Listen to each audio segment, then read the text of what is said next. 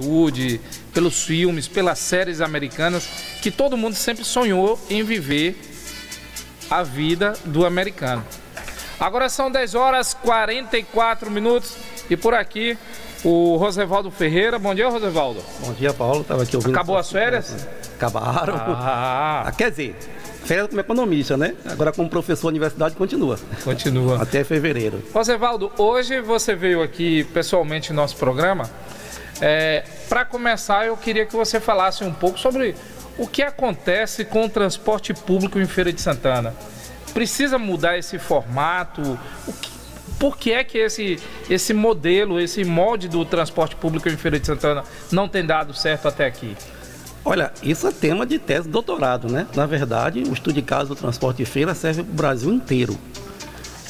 Mas vou tentar aqui alguns minutos resumir o que é está dando.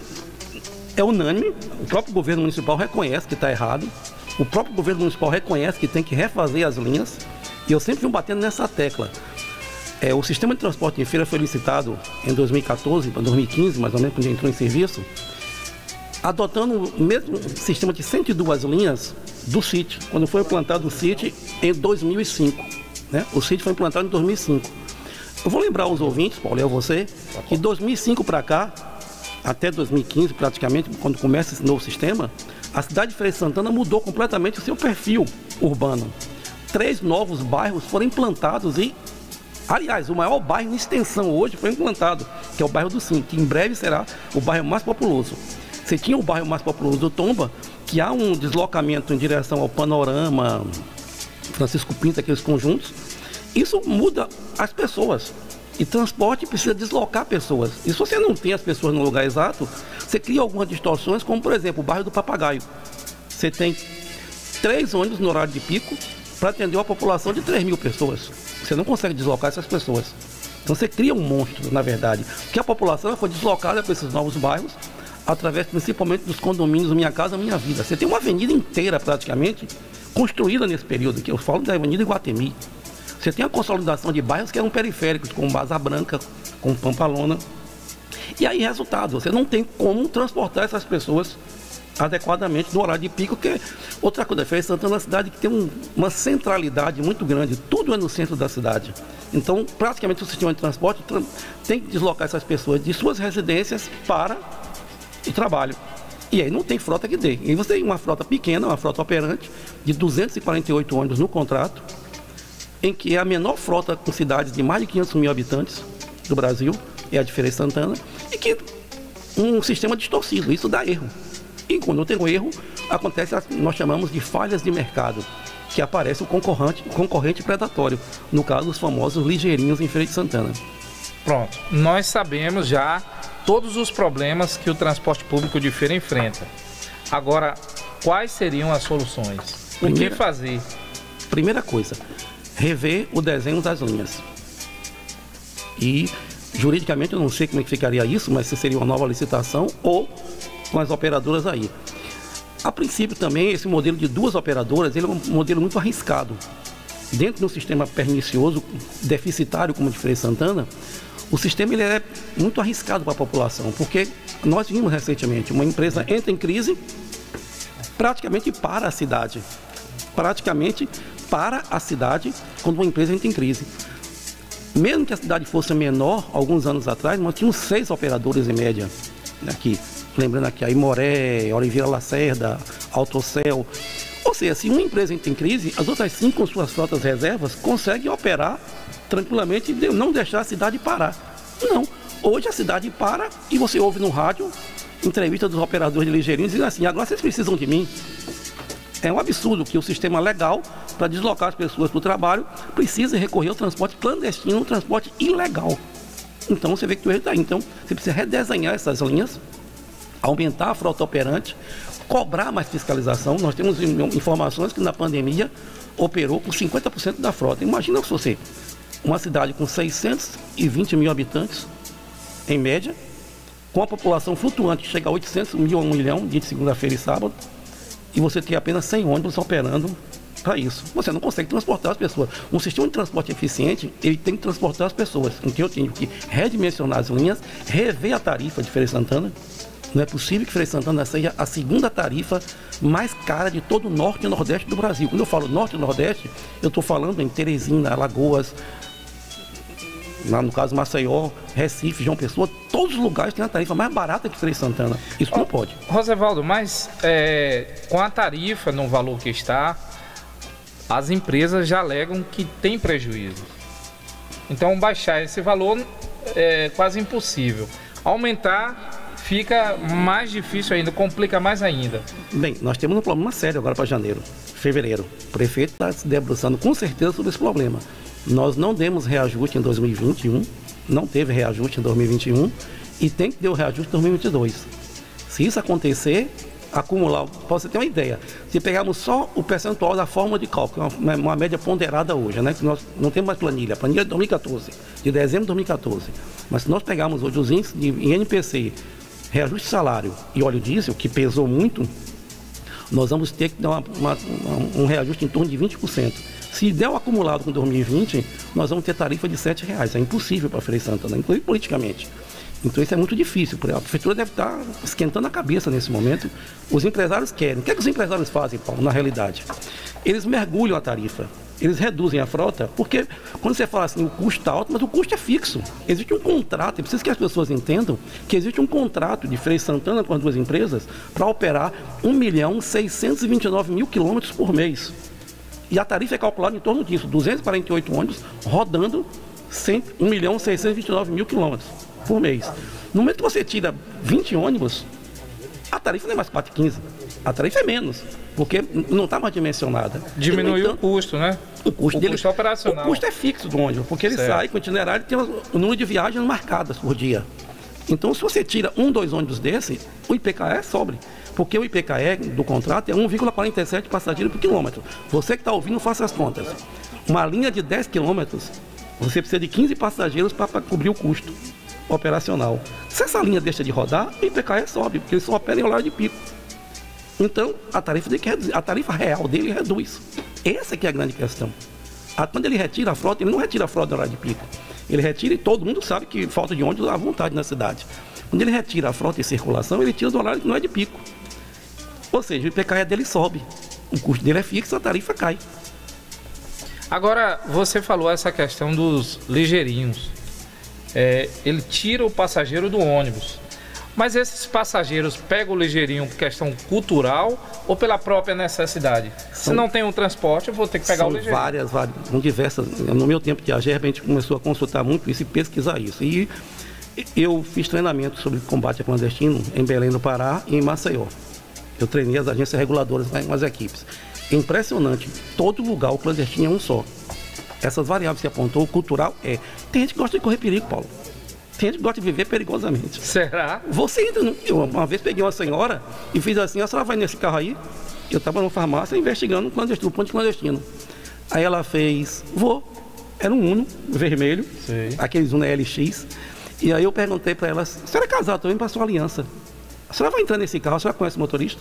Não, não conheço o motorista. Como é que a senhora entra num carro de uma pessoa que a senhora não conhece? Seu marido aceita isso? Ela criou na cabeça aquele negócio que é um transporte como outro qualquer, e não é. Você não pode imaginar a quantidade de assaltos que existem, a quantidade de drogas que são transportadas, não todos, não é a maioria, é uma minoria, mas que faz coisa errada naquele ligeirinho. Que existe é, algum desses veículos com documentação irregular.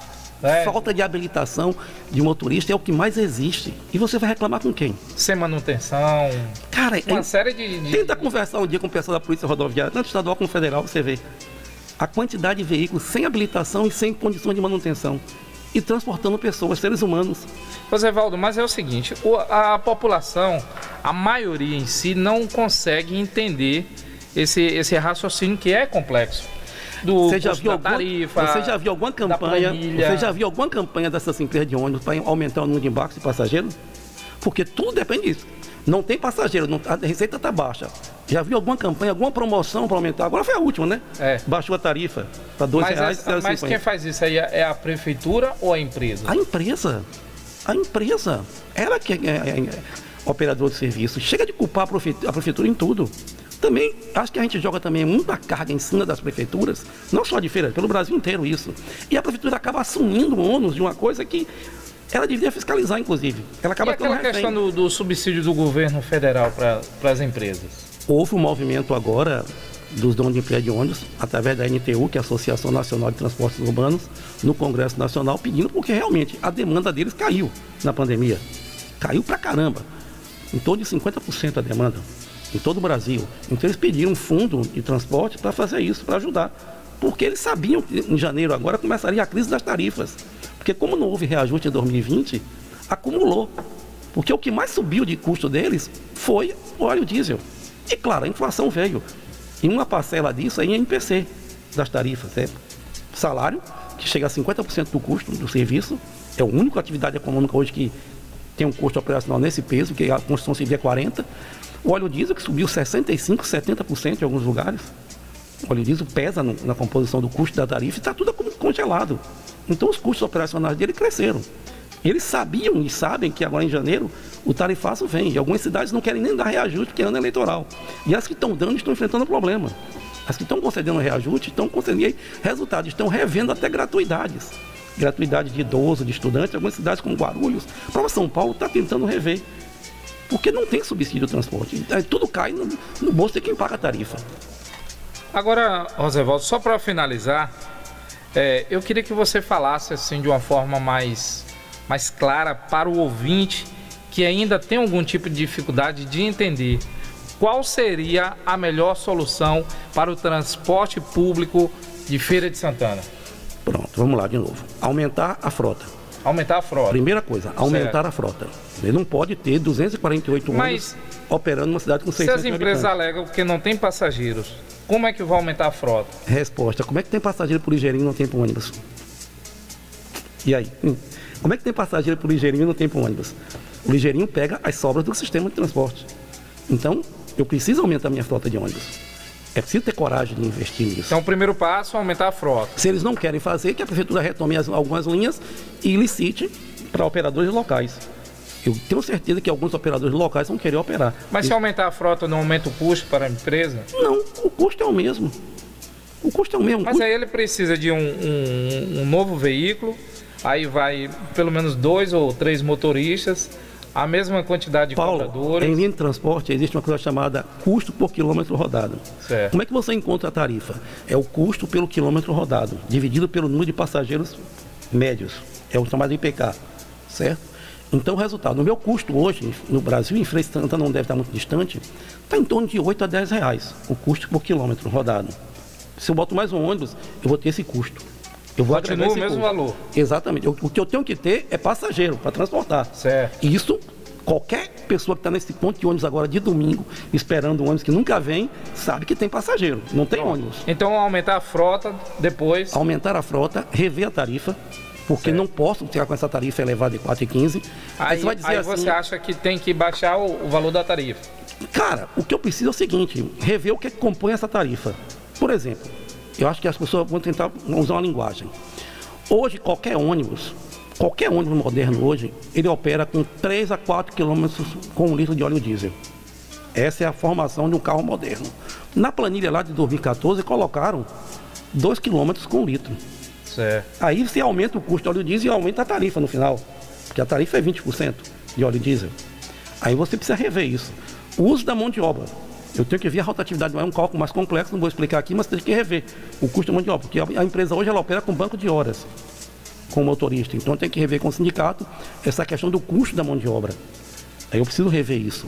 E por fim, os outros componentes. Pneu, por exemplo. Pneu na planilha está constando 40 mil quilômetros um pneu novo um pneu novo. E na primeira rodagem são seis ônibus novos. E aí eu vou desafiar aqui agora, não só de feira, qualquer empresa do Brasil que opera ônibus, que um dia operou com seis pneus novos. Não fazem isso, Paulo. O ônibus chega novo da, da fábrica, ele tira os quatro pneus novos e coloca quatro pneus reformados. Mas por que isso? Economia, a reforma de pneu hoje é muito boa. Melhorou Sim, mas muito se a ele tem um pneu novo, E ele faz o que com pneu novo? Ele usa no outro ônibus, que pelo Contran tem que ser dois. os do- na frente, os dois da frente tem que ser novos. ele faz ele um rodízio. Ele faz o pneu. rodízio, Bota exatamente. outros ônibus, Exatamente. compra quatro reformados. E não, ele tem, ele tem a, própria- as grandes empresas têm próprias reformas. Aí outra coisa, reforma. A planilha diz que são duas reformas de, de 20 mil quilômetros. 20 a 30 mil quilômetros. Hoje a reforma de pneu é tão moderna, você tem uma ideia, que ela chega a 60, 80 mil quilômetros num, num piso com freio Santana que não tem muito declive. Aí você, ele lucra com a eficiência e nós pagamos pela ineficiência da empresa. Entendeu? Na tarifa, eu tenho que rever isso. Absolutamente eu tenho que rever. Então, você tem uma ideia, em Anápolis tem uma empresa que ela reforma nove vezes o pneu. Cara, é uma baita eficiência. Aqui a, a nossa planilha dá 2,2, 2,5 reforma para ela. Então isso, tá, isso onera o custo da tarifa. Eu tenho que rever isso. Valdo, são 10 horas e 59 minutos. Eu quero agradecer a você pela presença. Muito obrigado. Eu espero que os nossos ouvintes é, tenham, pelo menos, é, assimilado é, o que você disse, que é de extrema importância, porque o transporte público em Feira de Santana é complicadíssimo, problemático, e a gente está sempre buscando uma, uma solução. E você trouxe aqui algumas. É, só para finalizar aqui, já que ele já está indo, é, o nosso amigo Rui, o PM Rui, está mandando um abraço aqui. Para, ele diz assim: manda um abraço aí para esse esquerdista doente, meu amigo do peito, Rosevaldo. Sim. Tá dado alô, viu, Rui? Um abraço para você. Obrigado, Rui. Um abração. Agora são 11 horas, Rosevaldo, um abraço. Muito obrigado pela sua presença aqui. Um abraço, Paulo. Também. Valeu. Aqui, a presença de vocês é sempre. Mudou um pouco o foco hoje, né? É. O Silvério hoje tá de economia, hoje Silvério está de férias, tá de bom férias. descanso aí. E hoje a gente resolveu falar sobre um problema que atinge todo mundo e é, é eu acho que é, é um problema que todo mundo termina sendo alcançado. Todo é, mundo. o, o empresário que paga o vale transporte, se a tarifa reduz, ele paga menos vale transporte. Não só o usuário, mas todo mundo. Agora são 11 horas, vamos ao intervalo. Já já estaremos de volta com mais informações para você aqui no programa Silvério Silva. Oi. Programa Silvério Silva, jornalismo sério e descontraído. Ô, Silvério Silva.